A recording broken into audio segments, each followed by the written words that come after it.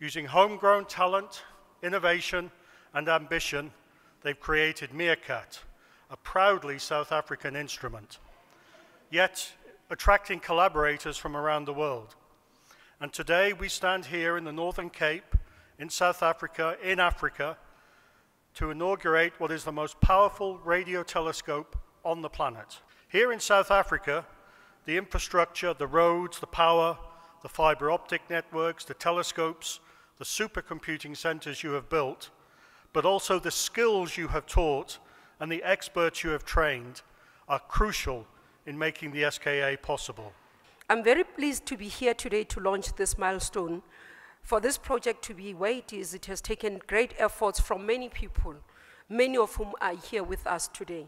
This project helps, also helps us as a country and the world at large to continue the culture of science, technology, and innovation.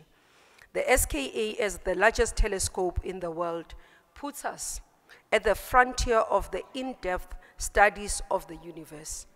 Through this project, we are going to attract scientists and scholars from all over the world, the results of which is intensification of the innovation culture in South Africa. It is our greatest honor to be part of this historic moment of the launch of the MeerKAT telescope in this beautiful province of the Northern Cape.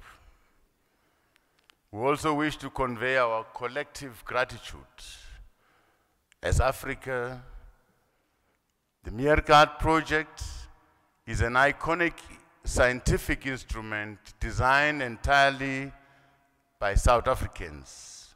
Furthermore, 75% of the components that went into the construction were sourced locally.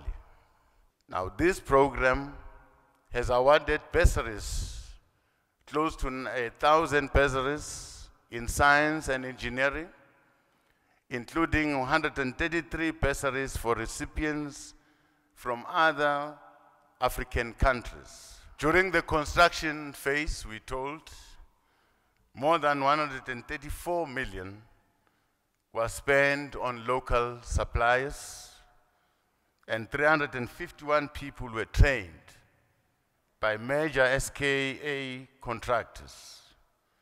In addition, more than 110 million was awarded to 16 small and medium enterprises through a financial assistance program. There is no doubt that the launch of the MeerKAT further strengthened the prospects of a larger role for South Africa in the construction of the SKA as it proceeds and promises numerous benefits for the country and the region as a whole.